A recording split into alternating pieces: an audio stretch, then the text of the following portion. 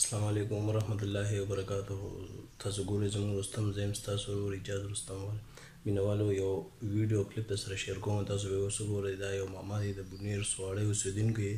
په خپل پالج والی بیمار دی او زوی معذور دی هغه هم بیمار دی د دغه ځای کوم علاقي کوم مقامي خلک یې پي ای دی امینه دی یا کوم داسې خلک دي چې هغوی طاقت او وس لري الله د رضا لپاره د سره مدد وکړي د دې نمبر موږ د ویډیو د پاسه ورکوم زه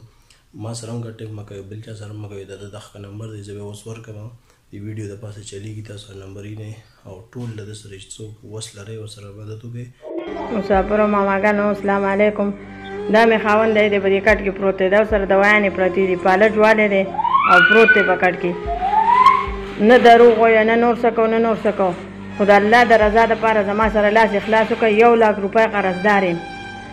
او لاس دې خلاص راسره وکړي د الله د رضا دپاره او پالج وال دی او پروت دی په کټ کې د روژې د ټیم اریان یو چې دا نارینه یې په کور کې نو لاړ شي چېرته مزدوري وکړي نو زموږ د مزدورۍ هم څوک نشته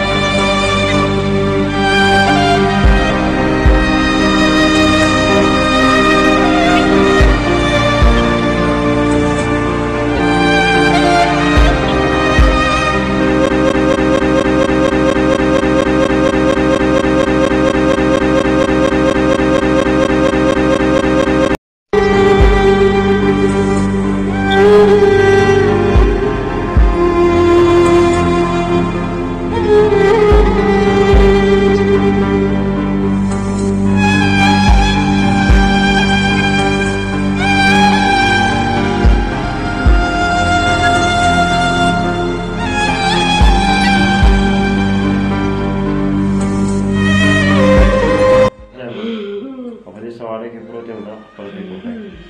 په دې کوټه کې پروت یم ما غلام اتیا زاګیان یم چې قاسم نه په سلو رضا ما باور بار دې سره بیا نه کپټ کړم ا دا دوا مې وس نه کیږي دا دوا نه کولې ما تاسو ختم شي ما سره روپۍ درک نشته ما سره د الله د رضا لپاره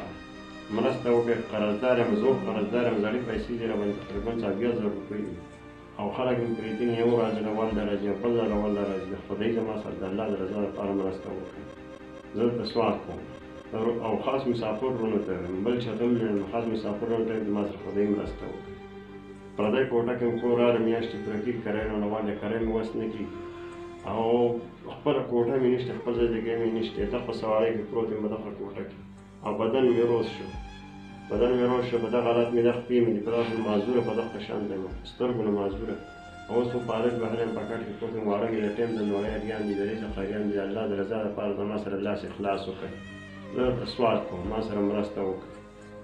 او خلک ویډیوګانې وکړي چینلو کې ورکې زه چینل والا نه یم خو خدای زما سره مرسته وکړي چې زما د ښځې کور د چې اور پرېږدي لږ راخرچي لګار به کېږي